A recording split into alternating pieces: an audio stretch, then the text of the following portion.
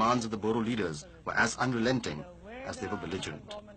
The basic truth is that this Assam government, its officials, bureaucrats, ministers, policemen, all are anti-tribal.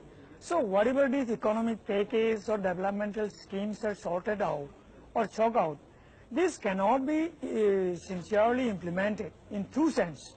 So this implementation is not possible under this anti-tribal government and its bureaucrats. So that is why the solution is the separation, the division of Assam and creation of separate state of Bodoland.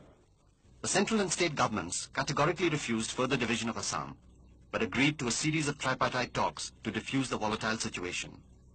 The AGP state government, however, insisted that the then Congress government in the centre was encouraging the Bodos to the path of violence.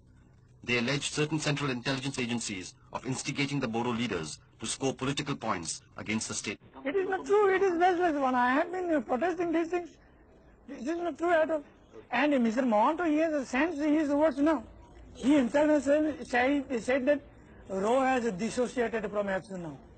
He said, and uh, RAW did not associate us earlier also. We protested in yesterday's talk. He could not produce any document also.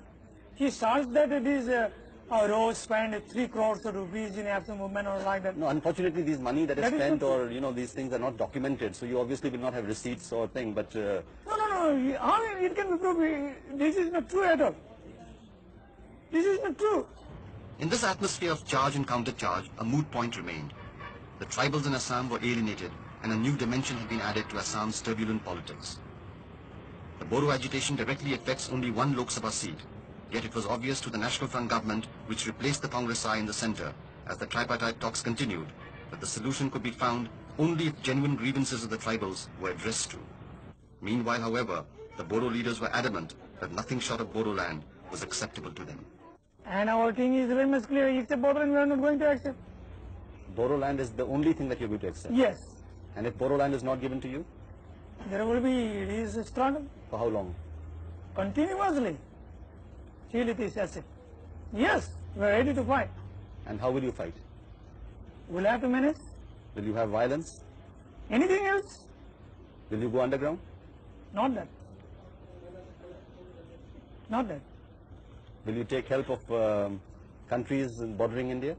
No. No. We don't have So your fight will be within the constitution of India, yes, within the constitution yes, definitely. Definitely. We are very much democratic and constitutional. We are demanding only the constitutional provision of our